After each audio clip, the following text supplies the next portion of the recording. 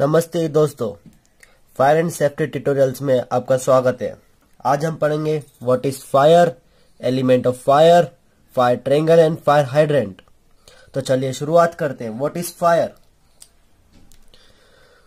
fire is a chemical reaction और process that release heat and light मतलब fire एक chemical reaction या फिर प्रोसेस है जो कि हीट और लाइट को रिलीज़ करती है।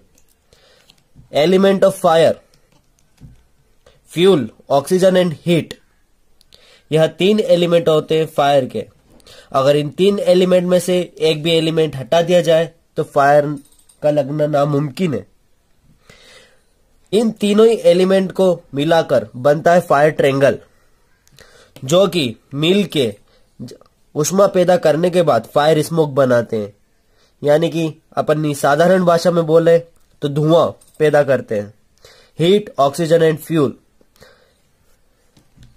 ये तीन एलिमेंट बहुत ही एसेंशियल है फायर को लगने के लिए। अगर जैसा मैंने बताया, एक भी एलिमेंट को हटा दिया जाए तो फायर लगना नामुमकिन है। अब इन तीनों ही एलिमेंट को मिला के बनता है fire hydrant. Sorry, fire tetrahedron. Fire tetrahedron इसलिए बताया गया है क्योंकि जब कंटिन्यूसली फायर चलती जाती है, चलती जाती है तो इन तीन एलिमेंट से भी काम नहीं चलता है। उसके लिए एक चीज़ और लगती है चेन रिएक्शन जो कंटिन्यूसली कंटिन्यूसली कंटिन्यूसली इन तीनों एलिमेंट को एक दूसरे के साथ मिक्सअप मिक्सचर करती जाती है और फायर जलती जाती है। जैसा कि हम यहाँ देख रहे हैं heat fuel oxygen and chain reaction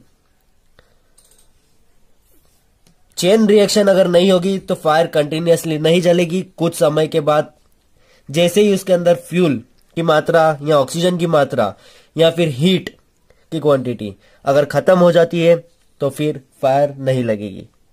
continuously अगर फायर को चलना है तो उसके लिए चेन रिएक्शन बहुत ही इंपॉर्टेंट है। एलिमेंट ऑफ़ फायर टेट्राड्रन जैसा कि आपने इधर देखा, जिसका शॉर्ट फॉर्म होता है F O H C fuel oxygen heat and chain reaction hopefully आपको सब कुछ समझ में आया होगा। और thank you for watching this video and subscribe and like ज़रूर कीजिएगा।